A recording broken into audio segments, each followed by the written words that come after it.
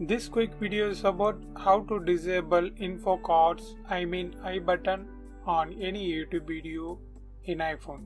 And this process will be same for Android too. Okay, let's open YouTube and click here. Then click on settings. Now tap general and then you will see this option show in video info cards in default, it will be turned on. OK. To disable info cards, touch this. Then it will be turned off. After that, you won't see any info cards when you watch YouTube videos. And if you wish, you can turn it again on this place.